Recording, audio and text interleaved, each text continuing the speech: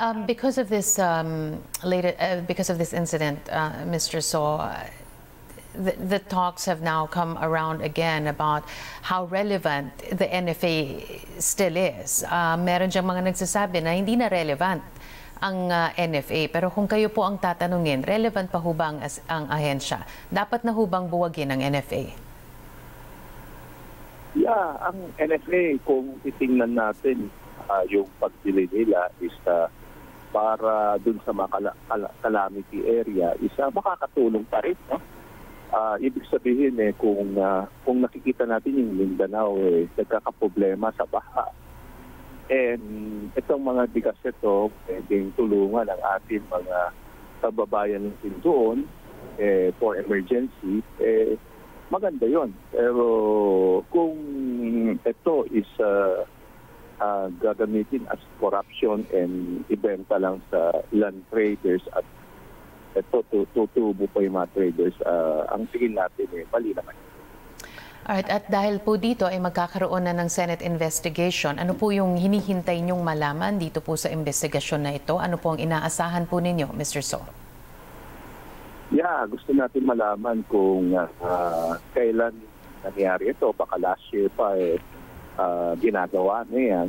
And when nag-start itong uh, ganun na sistema para at least eh, malaman natin kung ilan talagang number of bugs ang uh, uh, linabas at binenta sa Do you think that um, madadagdagan pa po ang presyo? Kasi in a matter of days, nadagdagan ho, di, di po ba?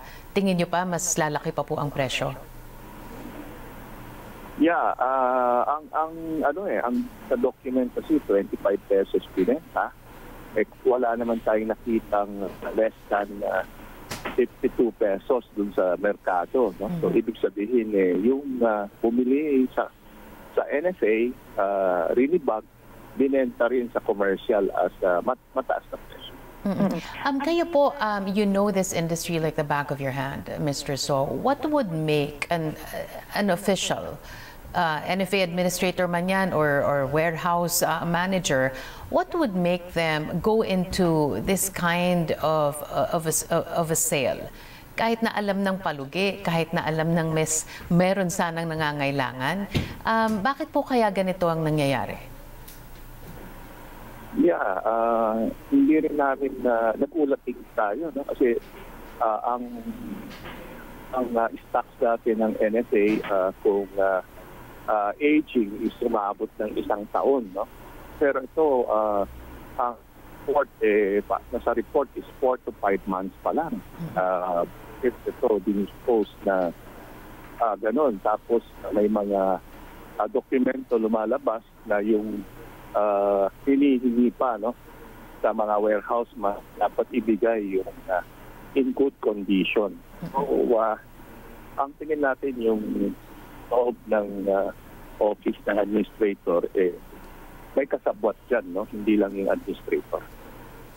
Um, where do you think, uh, saan pa ho kaya umaabot ang galamay ng network na ito? Ah, sa tingin natin, eh, within NFA, kasi um, ang ang tingin natin kasi ano eh ah, at least ah, kung si secretary no um uh, kilala natin na ah, sector ng agriculture dati nasa agri-business siya. Hindi niya iyan ito no? Hindi niya gagawin yan. And ah, welcome kami na siyang magte-take over muna sa NFA para maimbestigan itong situation, uh, itong scam na ginawa ng NFA.